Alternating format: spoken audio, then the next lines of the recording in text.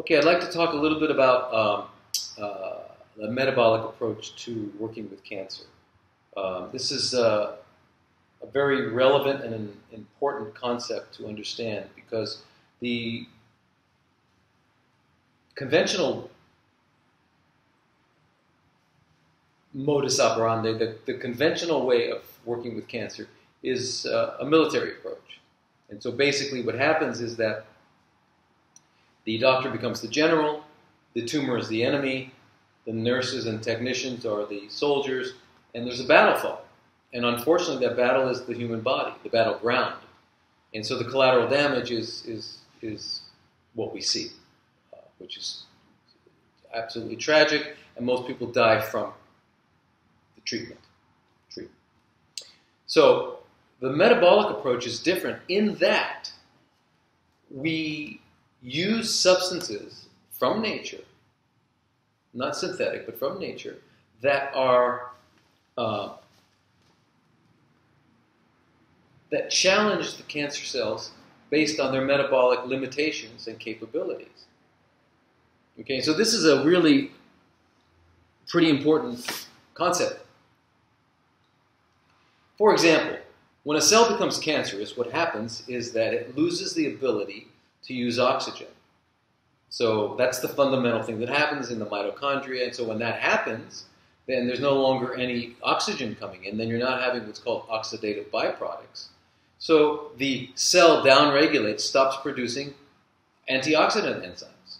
So if you put the cell in a, in a, in a situation, in a position where it needs those antioxidant enzymes and it doesn't have them, it will die. And that's great because healthy cells have those enzymes.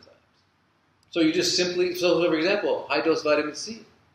We know it's well documented. The, the National Institute of Health, uh, National Cancer Institute, and the FDA um, have um, published studies showing that what happens in one of the things that happens with vitamin C is the production of peroxides in tissues. And so cancer cells have do not have catalase and superoxide dismutase, so they cannot convert those peroxides into water and oxygen the way healthy cells do. So they die. They're, they're basically targeted in a metabolic way rather than a military way. And there are lots of different metabolic therapies that are based on botanicals.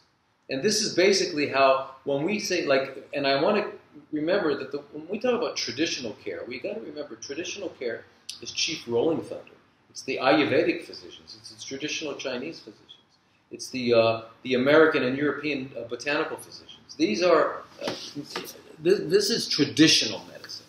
We often mistakenly say that about traditional chemotherapy. Anything that's done today with white coats in hospitals is not traditional, it's conventional. Okay. Traditionally, humans were more aligned with nature and we used natural substances.